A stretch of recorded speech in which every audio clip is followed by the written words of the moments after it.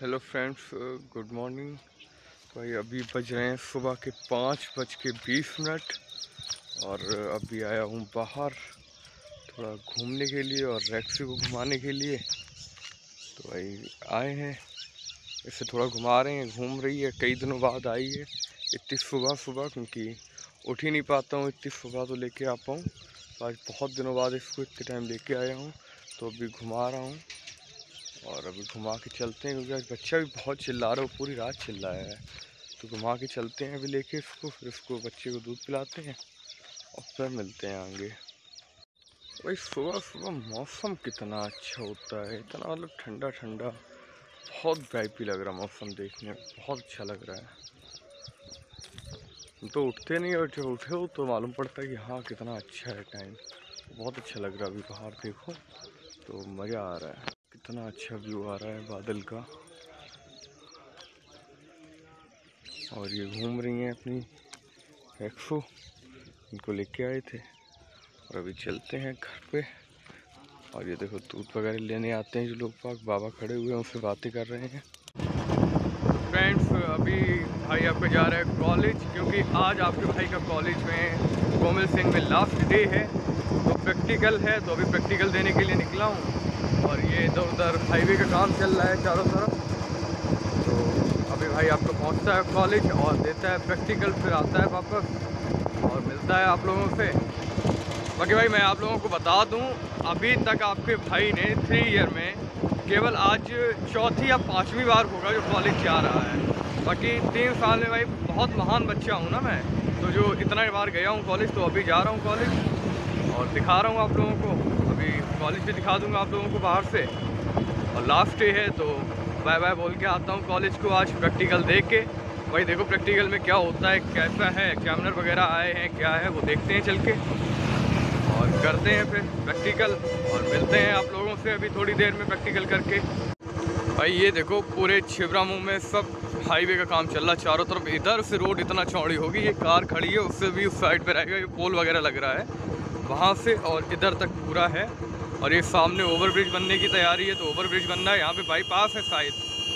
भाई छिपरा मुँह में भी हाईवे होगा। कौन, कान पे हॉर्न बजा रहा?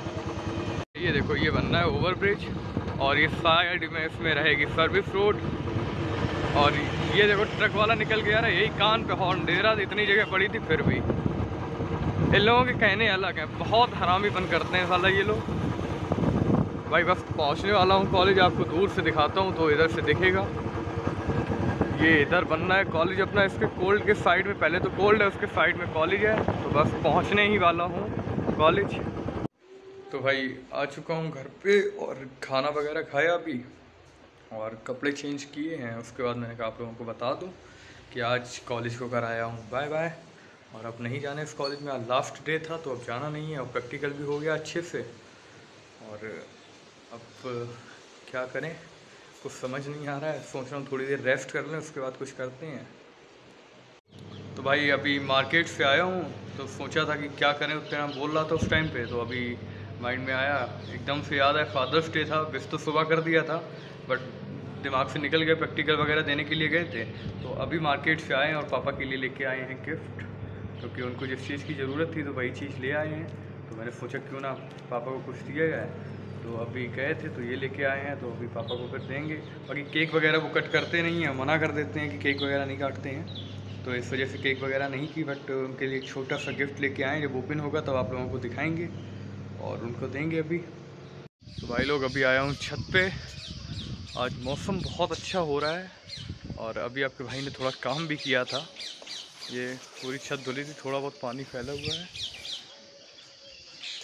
और अभी सब साफ़ किया था और आप लोगों को देखो। कल ये टंकी चेंज करवाई थी, वो पुरानी वाली थोड़ी लीक हो गई थी। और भाई शॉप वाला देखिए कितना अजीब इंसान है। टंकी न्यू दे दी बट जो पुरानी वाली टंकी जो लीक हो गई थी, उसका ढक्कन वही रखा न्यू ढक्कन नहीं दिया। टंकी चेंज हो गई थी गारंटी में थी इस वजह से। और हवा देखो कितनी अच्छी चल रही पीछे पेड़